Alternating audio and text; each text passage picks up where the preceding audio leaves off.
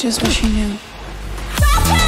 तो दोस्तों आज की इस वीडियो में हम बात करने वाले हैं top three South Indian movies के बारे में जिसमें आपको थ्रिलर सस्पेंस के साथ साथ मिस्ट्री क्राइम सस्पेंस भी देखने को मिलेगा। और ये सभी मूवी हिंदी डब में अवेलेबल है। तो चलिए बिना किसी देरी के वीडियो को स्टार्ट करते हैं। मुझे जानना है आखिर नीचे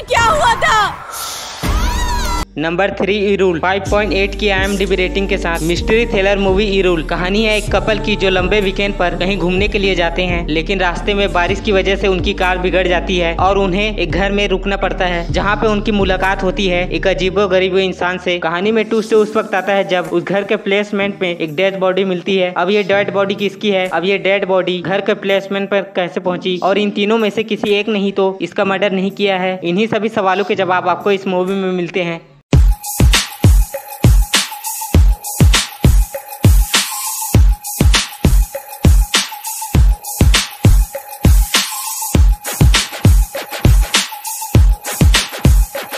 मूवी का स्क्रीन प्ले आपको इस मूवी से जोड़ कर रखेगा और इस मूवी को आप यूट्यूब पर देख सकते हो। जो हमें मेंटली या फिजिकली बहुत अफेक्ट करता हो, वो हमारे दिमाग में पूरी तरह से छप जाता 6.9 की आई रेटिंग के साथ। नंबर टू पर है psychological mystery movie Game Over. कहानी है एक लड़की की, जो अपने माँ बाप से दूर एक घर में रहती है और वो गेम डिज़ाइनर का काम करती है, जिसके साथ एक साल पहले कुछ ऐसा हादसा हुआ था, जिसके कारण वे एक नाइटोफोबिया की बीमारी का शिकार हो गई है और इसी बीमारी के कारण वो एक छत से कूद जाती है, लेकिन वो मरती नहीं है, बल्कि उसका पैर टूट जाता है। लेकिन कहानी में टूट से उस वक्त आता है जब एक सीरियर किलर सपना के घर में पहुँच जाता है तो अब सपना उस साइको किलर से कैसे बचेगी, ये देखना बहुत ही इंटरेस्टिंग है। मूवी का फास्ट पेस स्क्रीन प्ले आपको बिल्कुल भी बोर नहीं होने देगा। और इसके एंडिंग में जो आपको सस्पेंस थ्रिलर मिस्ट्री देखने को मिलता है, वो आपके होश उड़ा के रख देगा। और इसे आप नेटफ्लिक्स पर देख सकते हो। सभी एविडेंस को एक साथ जोड़ने के लिए ज़रूरत है। उसका बयान, उसका नाम।